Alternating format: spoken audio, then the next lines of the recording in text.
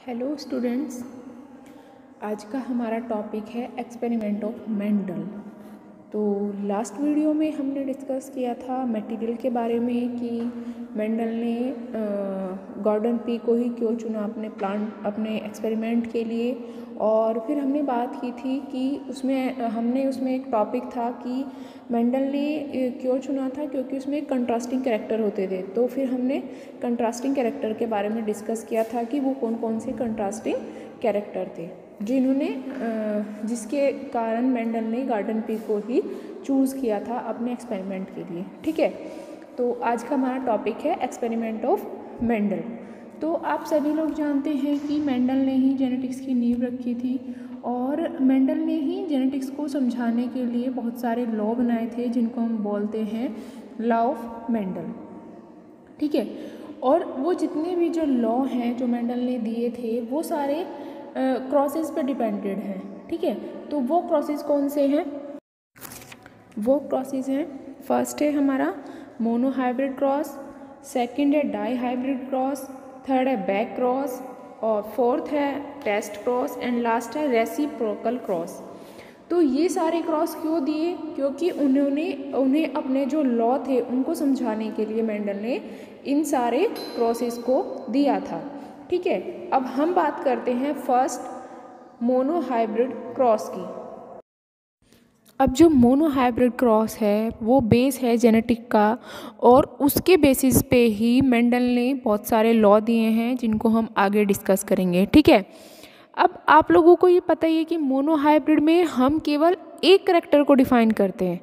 किसी भी एक करेक्टर को, जैसे हमने लास्ट वीडियो में सेवन कंट्रास्टिंग करेक्टर पढ़े थे तो हम अब उसमें से एक करेक्टर उठाते हैं, जैसे कि हो गया कि फ्लावर की जो हाइट है, ठीक है?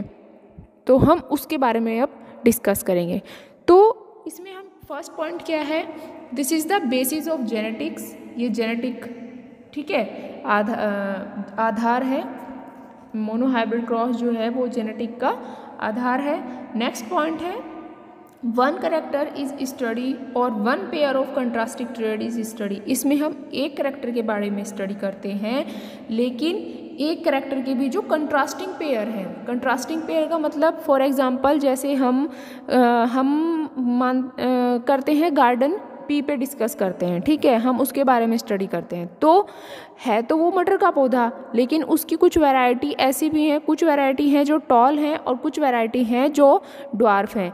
तो वो एक ही पौधे में क्या मिले हमें? दो कंट्रास्टिंग करेक्टर हो गए, एक लंबा पौधा और एक छोटा पौधा।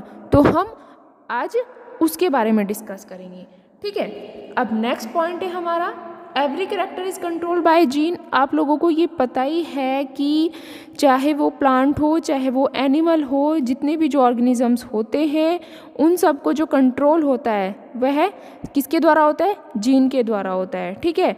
तो जो जीन होते हैं, वो एक या एक से अधिक करेक्टर को कंट्रोल करके रख सकते हैं। ठीक है? अब नेक्स्ट पॉइंट है, when only a single pair of contrasting or differentiating character is considered in a cross, it is called the monohybrid cross. तो इसका क्या मतलब है कि जब हम एक समय पर एक ही करेक्टर के कंट्रास्टिंग पेयर की जहाँ स्टडी करते हैं, उस क्रॉस को हम क्या बोलते हैं? मोनोहाइब्रिड क्रॉस बोलते हैं। अब देखते हैं कि जो मेंडल ने जो क्रॉस कराया था मोनो हाइब्रिड का, वो कैसे किया था? तो उसने क्या लिया था कि उसने पेरेंटल गैमेट लिए थे ये जो पी है डिनोट करता है पेरेंटल जनरेशन को और कैपिटल वाई कैपिटल वाई और स्मॉल वाई स्मॉल जो कैपिटल वाई है, वो क्या, वो डिनोट करेगा टॉल की जो प्लांट है जिसकी हम स्टडी कर रहे हैं स्टेम हाइट की। तो वो कैसी है? टॉल है और जो स्मॉल वाई है, वो कैसे करता है? डिनोट करता है ड्वार्फ प्लांट को। ठीक है? और आप लोग इसमें देख रहे हैं कि each homozygous parent in the P one generation produce only one kind of gamete तो होमोजाइगस क्या होते हैं? Organism having two similar gene or allele for a particular character. In a homologous pair of chromosome. Example, capital T capital T और small t small t. जब किसी भी organism में एक जैसे करेक्टर के लिए उसमें एक जैसे दो जीन प्रेजेंट होते हैं क्रोमोसोम पर तो उसको हम क्या बोलते हैं? होमोजाइगस जैसे आप एग्ज़ाम्पल में देख रहे हैं कैपिटल टी कैपिटल टी और स्मॉल टी स्मॉल टी तो ये दोनों क्या हैं? होमोजाइगस कंडीशन है. ठीक है? तो हम देखते हैं कि हमें जो पेरेंट जनरेशन थी, जो पेरेंट करेक्टर था, उससे हमें क्या मिले? अब उससे हमें दो गैमेट मिले कैपिटल वाई और स्मॉल वाई अब जब हम कैपिटल वाई और स्मॉल वाई का क्रॉस कराते हैं तो इससे हमें मिलेगी F one generation F one को हम क्या बोलते हैं? फिलिल जनरेशन तो इसमें जब हम कैपिटल वाई, स्मॉल वाई का क्रॉस कराएँगे तो हमें जो गैमेट मिलेगा, वो मिलेगा कैपिटल वाई और स्मॉल वाई। इसको हम क्या बोलते हैं? हाइब्रिड कंडीशन या हम इसको बोलते हैं हेट्रोजाइगस कंडीशन ठीक है? The heterozygous F one offspring produce two kind of gamete तो हमें एफ़ वन जनरेशन में क्या मिला? हेट्रोजाइगस गैमिट मिले। ठीक है? अब देखते हैं कि हेट्रोजाइगस क्या होते हैं। अब देखते हैं कि हेट्रोजाइगस क्या होते हैं। ठीक है? Organism containing two different allele और individual containing both dominant and recessive gene of an allelic pair, it's called the heterozygous. मतलब कि होमोजाइगस में क्या था कि सेम एलिल्स का होना जो एक पर्टिकुलर करेक्टर को डिफाइन करते हैं, जिनकी वजह से होते हैं तो उसको बोलते हैं होमोजाइगस ठीक है? हेट्रोजाइगस में क्या है? जब किसी भी करेक्टर डिफरेंट डिफरेंट करेक्टर के लिए जब डिफरेंट डिफरेंट एलिल्स ऑर्गेनिज्म में प्रेजेंट होते हैं तो वो क्या कहलाते हैं? हेट्रोजाइगस जैसे कि एग्जांपल देख रहे हैं आप कैपिटल टी स्मॉल टी ठीक है? प्लांट तो ये एक है, लेकिन इसमें जो कैरेक्टर हैं, वो क्या है? अलग अलग हैं. तो अलग अलग कैरेक्टर के लिए जीन भी तो अलग अलग होंगे ना? तो उसको हम क्या बोलते हैं? हेट्रोजाइगस कंडीशन जब जब दो डिफरेंट डिफरेंट कैरेक्टर एक साथ होते हैं, ठीक है? तो उसको हम क्या बोलते हैं? हेट्रोजाइगस तो स्टूडेंट्स हमें जो एफ़ वन जनरेशन मिली है, उसमें हमें दो गैमेट मिले हैं और वो गैमेट कैसे हैं? हाइब्रिड है। मतलब कि एक कैपिटल वाई है और एक स्मॉल वाई है। तो ये क्या शो करता है? ये करता है टॉल प्लांट को। क्यों? क्योंकि जो इसमें कैपिटल वाई है वो स्मॉल वाई के ऊपर स्मॉल वाई पे क्या है? डोमिनेट कंडीशन में है। तो एफ़ वन जनरेशन में केवल हमें ये देखने को मिलता है कि हमें सिर्फ़ टॉल प्लांट ही प्राप्त होते हैं, ठीक है? जो एफ़ वन जनरेशन में कैसे प्लांट प्रोड्यूस होंगे? टॉल प्लांट क्यों? क्योंकि इसमें क्या होता है? जो कैपिटल वाई है, वो स्मॉल वाई को एक्सप्रेस होने नहीं देता है। तो ये कौन सी कंडीशन होती है? ये होती है डोमिनेट कंडीशन ठीक है? मेंडल ने जब ये क्रॉस कराया तो उसमें क्या मिला कि एफ़ वन जनरेशन में जो भी हमें प्लांट प्राप्त हुए, वो सभी कैसे थे? वो थे टॉल प्लांट ठीक है? तो एफ़ वन जनरेशन में तो हमें जो कंडीशन मिली है, वो मिली है टॉल प्लांट की कैपिटल वाई और स्मॉल वाई लेकिन अब मेंडल ने क्या किया? एफ़ टू जनरेशन में क्रॉस कराने के लिए मेंडल ने क्या कराया कि इसमें इंटरब्रीडिंग कराई या जो हमें एफ़ वन जनरेशन मिली है कैपिटल टी और स्मॉल टी उसका जो क्रॉस कराया, वो एफ़ वन जनरेशन से ही कराया कैपिटल टी स्मॉल टी इसको हम क्या बोलते हैं सेल्फिंग या इंटर ब्रीडिंग ठीक है? तो ये जो क्रॉस है, ये जो आपको बॉक्स दिखाई दे रहा है एफ़ टू जनरेशन में, इसको हम क्या बोलते हैं चेकर बोर्ड या पूनेट स्क्वायर भी बोलते हैं। पूनेट स्क्वायर क्यों बोलते हैं? क्योंकि ये जो सबसे पहले चेकर बोर्ड दिया था, ये दिया था पूनेट ने। इसलिए हम इसको क्या बोलते हैं? पूनेट स्क्वायर बोलते हैं, ठीक है?